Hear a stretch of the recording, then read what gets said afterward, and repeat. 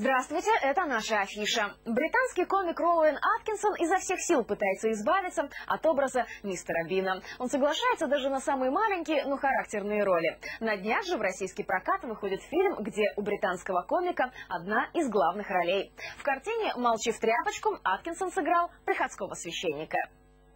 Роуэн Аткинсон давно знает секрет популярности героя комедии. Он должен быть асоциален, асексуален и прежде всего трогательно наивен. Ну а новый герой Роуэна Аткинсона, приходской священник по имени Уолтер Гудфеллу, обладает всеми этими качествами в избытке.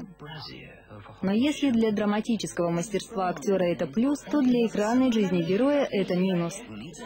У сверхположительного, глубоко верующего викария в семейной жизни сплошные неприятности. Супруга завела любовника, дочь интересуется только сексом, сын приходит из школы в синяках, ну а заправляет всем домоправительница-убийца. Ситуация нелегкая, но разрешимая.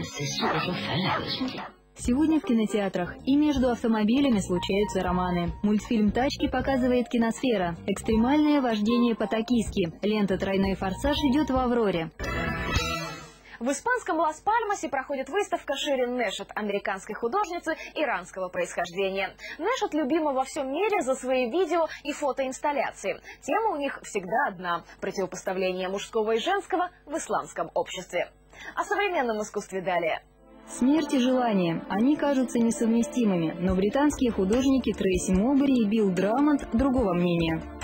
Я давно работаю над темой желания. Билл не один год трудится над темой смерти. Мы решили, что плоды наших исследований будут замечательно смотреться вместе. Общий проект так и назвали Death and Desire. Часть Билла своего рода реклама его сайта, где все желающие могут оставить завещание. Трейси представила на тему желания сонограмму женского оргазма, эротическую поэму, переложенную на наволочки, и фильм о борьбе с дискриминацией. Сегодня в выставочных залах. В манеже фотографии Ханса Данозера из проекта «Эрозия». В новом манеже Георгий Никич представляет очередной форум художественных инициатив. Быть номинантом Международного фестиваля телевизионных фильмов «Монте-Карло» – большое достижение. Стать лауреатом этого престижного конкурса – целое событие. В текущем году обладателем почетной награды «Золотой нимфы» стал российский фильм «Апокриф. Музыка для Петра и Павла». Причем это решение жюри приняло единогласно.